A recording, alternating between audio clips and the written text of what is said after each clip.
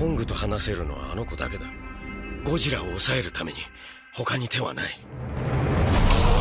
彼を連れ出し兵器として使うなんてとんでもない。かつてなかったまさに非常事態だ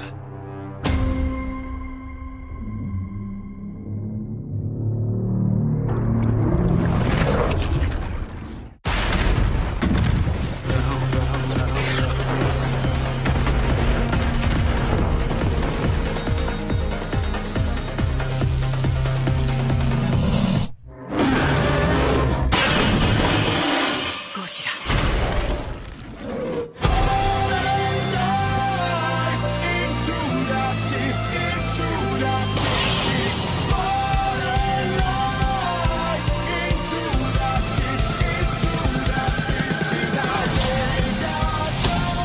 Den Series Outdoor'da. ゴジラは今人を傷つけるようになった理由はわからない。彼を怒らせる何かがあったんだって。ゴジラがまっすぐここへ向かってくる。神話でも壮絶な戦いを演じたいわば永遠のライバルです。王の座に座れる者は一人だけ